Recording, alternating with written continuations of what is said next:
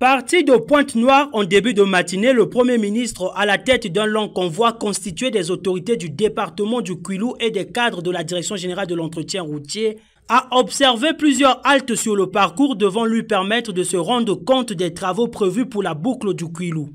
C'est à bord de ce bac d'une capacité de 30 tonnes que s'est effectuée la traversée de la délégation du Premier ministre sur la Numbi.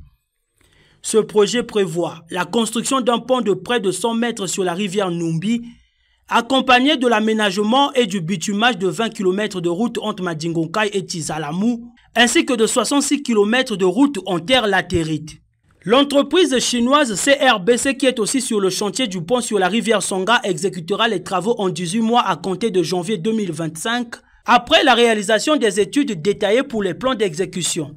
En Zambie, le Premier ministre et sa délégation ont été accueillis chaleureusement par les populations parées des couleurs des partis politiques. À son arrivée au village Tondungoma, Anatole Koliné Makoso a traversé la rivière Konkwati en utilisant aussi un bac. Anjambi Post, au cours d'un échange franc et direct voulu par le Premier ministre, les populations ont exprimé des préoccupations concernant les conflits avec les éléphants, les difficultés d'acquisition de certains documents administratifs, les fréquences de traversée à bord des différents bacs et l'emploi des jeunes.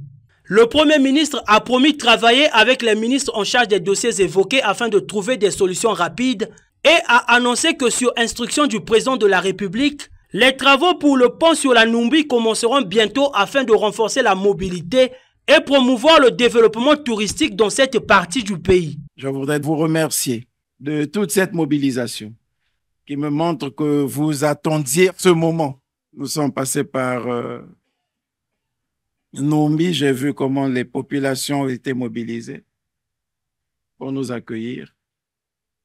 Je suis arrivé en Tandungoma.